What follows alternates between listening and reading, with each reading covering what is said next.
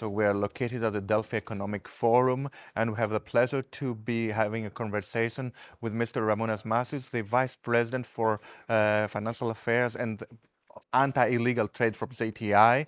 Uh, Mr. Macius, welcome to CNN Greece, and uh, I'd like to ask the, your opinion and your input on anti-tobacco illegal trade situation globally. We understand it's, it's getting bigger and it's turning into a scourge. So what is your input on this one, and how optimistic are you regarding the future? Well, first of all, thank you for having me. Uh, the problem with illegal trade is uh, that in most of the cases it's a hidden factor.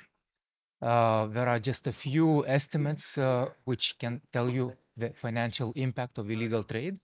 And the International Chamber of Commerce, as an example, sa says that it's around $4 trillion, uh, the size of the illegal trade uh, annually, which is uh, to compare similar to the fourth largest economy in the world.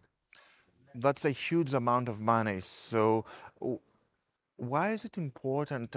I understand it's hugely important for the global economy, but what about the consumers? What, why is it important for the consumers themselves? Why is it hampering them? Well, consumers should realize when buying illegal product, they are not uh, tied to any rules, uh, neither safety nor health. So they're in the hands of someone who produced uh, the product irrespective of any standards. So this is the first thing. Second, illegal uh, product uh, is not in the economy. Yes, it, there is no revenue paid, not collected by government. Uh, I'll give you an example. Illegal trade in cigarettes in Greece, in this market, uh, takes away from government around 500 million euros per year.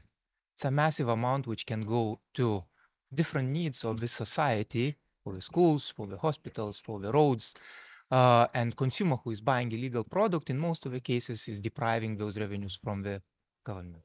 And my understanding is that also this uh, amount of money is fueled to highly, highly illegal activity, be it terrorism Correct. or other uh, such aspects. So Correct. that's another issue, right?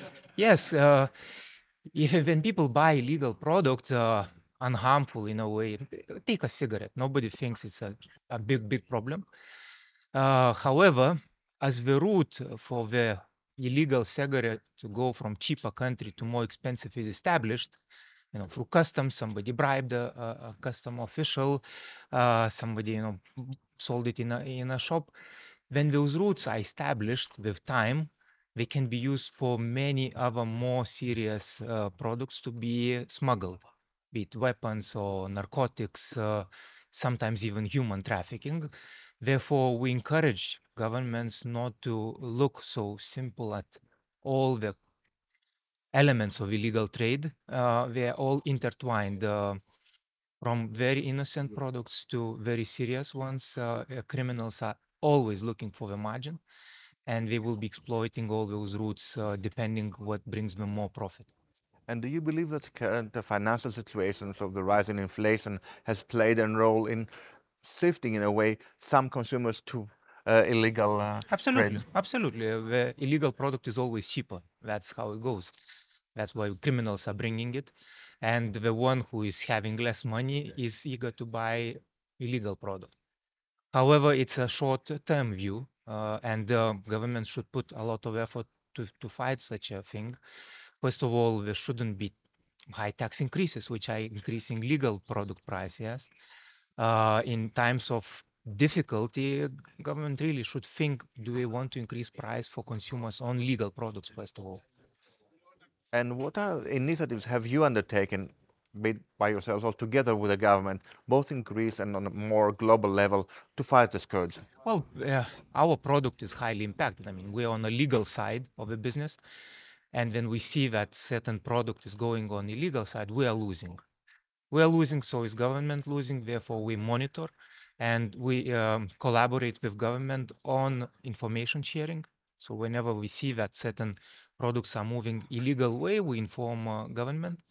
We also give support in terms of equipment, uh, in terms of knowledge, uh, uh how to identify certain illegal products.